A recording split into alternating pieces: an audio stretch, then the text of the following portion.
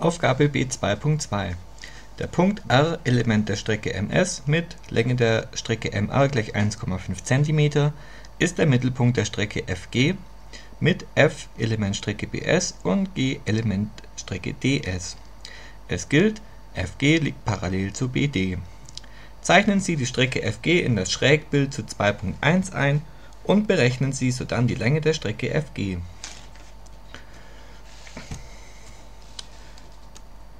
Der Punkt R soll also auf der Strecke ms liegen.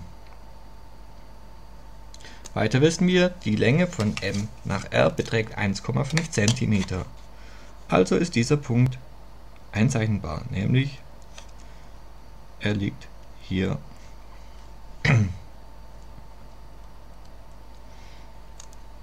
Weiter wissen wir, er ist der Mittelpunkt der Strecke FG wobei f auf der Seite BS liegt und g auf der Seite DS. Zusätzlich gilt, die Strecke FG soll parallel zu BD sein. Dadurch erhalten wir also ein kleines Zwischenstück parallel zu BD durch den Punkt R hindurch. Hier liegt unser Punkt F und hier liegt unser Punkt G. Nun soll man die Länge dieser Strecke FG berechnen. Wir schauen uns wieder an, gibt es ein Dreieck, wo die Strecke FG drin liegt. Ja, zum Beispiel das Dreieck F, G, S. Nun, jetzt gibt es wieder mehrere Möglichkeiten, das auszurechnen. Man könnte zum Beispiel mit Hilfe des Tangens den Winkel BSM berechnen. Dann hätte man hier oben einen Winkel und dann wieder mit dem Tangens weiter ähm, im Dreieck FRS. Tangens dieses Winkels ist die gesuchte Teilstrecke FR durch die Ankathete RS. In diesem Fall gibt es noch einen einfacheren Schritt über den Vier-Streckensatz. Wir kennen nämlich die Strecke BD. Die Strecke FG ist gesucht, also lange Strecke, kurze Strecke.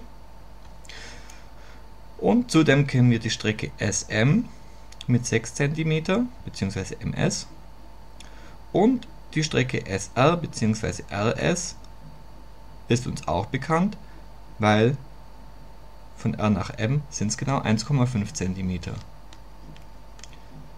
Also die Strecke RS ist gleich ms minus mr und das sind 4,5 cm. Somit sind alle Voraussetzungen für den Vierstreckensatz erfüllt. Wir können also schreiben, die Strecke FG, also kurze Strecke, geteilt durch lange Strecke,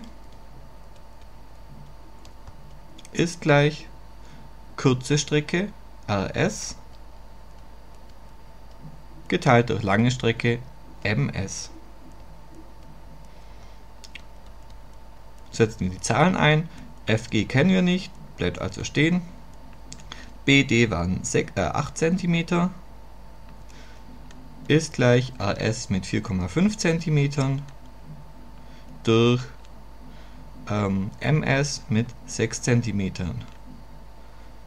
Einmal umgeformt noch, erhält man FG ist gleich 4,5 cm durch 6 cm mal 8 cm und daraus folgt FG ist 6 cm lang.